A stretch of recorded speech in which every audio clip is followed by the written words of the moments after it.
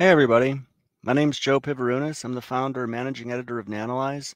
We're a boutique media and research firm that covers disruptive tech investing for a broad audience of retail and institutional investors across the globe.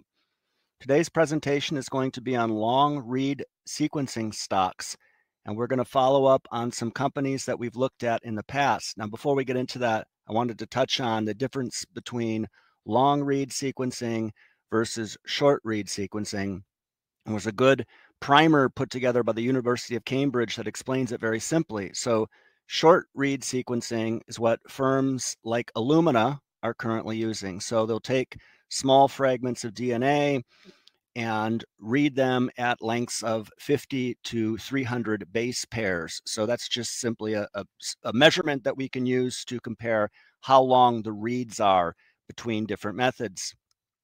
What they'll do then is they'll assemble all those short reads into an entire genome sequence using bioinformatics pipelines and reference genomes. Another way to do this would be long read sequencing, and that's where you take a single molecule DNA and produce reads of 10,000 to 30,000 base pairs in length. Now, there's a number of advantages to doing long read sequencing, and we're not going to elaborate on the use cases of each, but long read sequencing would be seen as the VHS of sequencing in the future, while short read sequencing might be seen as the Betamax. Now, there's certainly room for both methods, but the bull thesis is that long read sequencing will allow firms to do a lot more than what they can do today. There are two companies right now, both publicly traded stocks, that are what the University of Cambridge describes as the two dominant producers of true long read sequencing technologies. These firms are Pacific Biosciences, which Illumina actually tried to acquire, and Oxford Nanopore Technologies. So let's talk about Oxford Nanopore. We published a piece last year on them, and I'll put that in the description of this video. We took a look at their year end results to see what additional information we could glean. And the concern we had before was that their COVID revenues were taking up a significant chunk of overall revenues. Well, that's changed now. You can see here in 2021, COVID testing revenues have fallen dramatically. However, there's a new entrant here, and that's the Emirati Genome Program. So that's a client, the UAE, United Arab Emirates, a client that Oxford Nanopore is working closely with, along with uh, BGI, the Chinese Illumina, if you will. And they're working on sequencing the genomes of the entire 1 million people that live in the UAE. Now, the problem we have with that is the usual customer concentration risk. So, if 22% of 2021 revs is pretty high, Oxford Nanopore has raised their guidance for life science research tools revenues going forward in 2022 and 2023, but they don't provide us with any color on how much of that is coming from that single customer.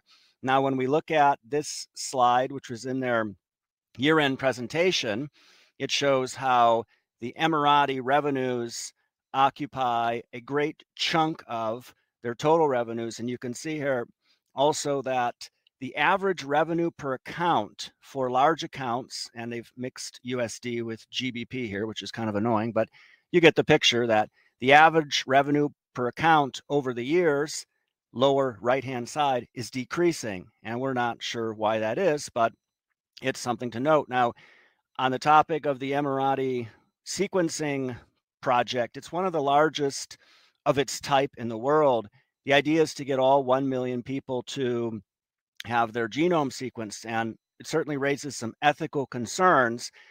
This is a country where adultery is punishable by stoning, and you're going to have everybody put in their full genome, and then you'll easily be able to see certain family members may not have the father that they think they do. It's quite an interesting story. And this goes back to when people were giving out DNA tests to family members as gifts, and wow, there were some real surprises there. So that was just a side note that um, came up when we were researching this, and it just goes to show that you really need to think these sorts of things through. Now, getting back to the stocks at hand. So we talked about Oxford Nanopore, the other name on the list, Pacific Biosciences. This was a firm that we covered. If you can see that red arrow, that's about the time we wrote about them last. And the name of our article was Why is Pacific Biosciences stock falling? Well, it wasn't falling at the time, but we used that title because we assumed it would be falling very shortly, and fall it did. Since we published that article, it's down around 80% if you look at the revenues, they're on the increase. So the action here is quite interesting. You have a stock price that has absolutely plummeted, but at the same time, in that same duration of time, this firm has done very well, finally getting the revenue growth that we've been waiting for. And ARK had said back in 2020 that they believed it was going to be a breakout year for Pacific Biosciences, and it has been. So what we're probably going to do here is come back around and take a closer look at this firm because the last time we looked at them, we just dismissed them based on the fact that the valuations were just simply outrageous. Now, the third factor we need to consider here is that Sure, we have those two stocks we just talked about that are doing true long read sequencing, but some big news from Illumina in January, and that was at the JP Morgan Healthcare Conference when they announced they have a synthetic long read approach called Infinity. And this will enable uh, 10 times greater throughput with 90% less DNA, they say, than legacy long reads. So they're kind of taking the piss out of everybody else with that statement. It can be fully automated. And here's the clincher it can be rapidly applied across the 20,000 instruments they have installed around the globe with 8,000 customers. So anybody who is anybody ha- is purchasing equipment from Illumina in the life sciences space, and Illumina has their hand in everyone's pocketbook. So it becomes very easy for them to start offering and selling a long read solution. Now, in the research piece that accompanies this video, we've provided a lot more detail around what others have said about this technology. Long story short, it remains to be seen how effective it will be. Our thought is that if it can apply to a majority of use cases, then that's fine. Let Pacific Biosciences and Oxford Nanopore go after the niches. And there's an article that we reference in our research piece that talks about how the Pacific Biosciences CEO said that this news from Illumina meant nothing because their their methods are entirely different from what Illumina is doing. And he also said, interestingly, that he doesn't believe they're competing directly with Oxford Nanopore because both firms are targeting different client bases. So we're particularly interested in that news from Illumina. There was an article by Evaluate, we also referenced, which provides this nice little table, which looks at the three players Illumina, Oxford, and Pacific Biosciences, the types of tech they have, the lengths of read and whatnot. So it's probably early days before we can start, I guess, coming to any conclusion about how good the Illumina announcement is for shareholders. But if we look at the company right now, this is our simple valuation ratio. It, take, it takes market cap, divides that by annualized revenues. That's simply last quarter times four. And we get a simple valuation ratio. We can use this to do relative comparisons as we've done here. So you can see we've taken the ratio for Illumina, compared that to Pacific Biosciences and Oxford Nanopore. As you can see, Oxford Nanopore is still very richly priced. We had to use uh, 2021 life science research tools revenues since they don't break things down quarterly because they're a UK firm, which means the next update we'll get will be halfway through 2022.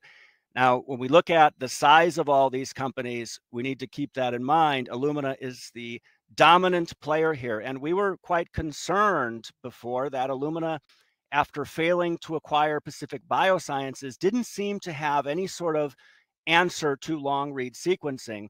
And we said we hoped they had a plan B. Well, that appears to be possibly the acquisition of an Australian firm. And again, you can read about that in the detailed research piece that we'll link to in the description of this video. But the point here is that Illumina is the 500 pound gorilla and they have this under control. They have the resources, the wherewithal, the knowledge to make sure they're not going to be left behind. And this should have these other companies certainly paying very close attention as they are. Lastly, we wanted to touch on a firm called Bionanogenomics. This came up in our Pacific Biosciences piece. It's another smaller firm, some $700 million market cap. Their shares went to the moon when an ARK analyst on Twitter said that he would like to speak with their CEO. We had noted that, and today the shares are down somewhat around 70% from that time. However, the company is also bringing in some revenues now and seems to have some consistent growth. However, it's notable that they're not mentioned when you're looking across all these expert opinions about long read sequencing. We don't know why that is. That's probably a story for another time. So we just wanted to to mention that um, bionanogenomics was also in consideration when we researched this piece. To conclude, long read sequencing certainly seems to be the next big step for the genomics community. There are two true long read players, Oxford Nanopore, Pacific Biosciences, and now we have Illumina with their newly debuted synthetic approach. So we'll probably need to wait and see how the technology is received. Early access is going to be next quarter, so the second half of 2022 or Q2, I believe. We'd have to look and see in their press release, which we've linked to in our research piece. Uh, we will assume that Illumina eventually comes out ahead. That's why we invest in market leaders. But at the same time, we're also going to be very aware of what other companies are doing. We do have some dogs in the race here in our own portfolio, but that's going to be for premium subscribers only. So please make sure you subscribe to our channel. Put your questions and comments uh, on the video. We'll answer them there.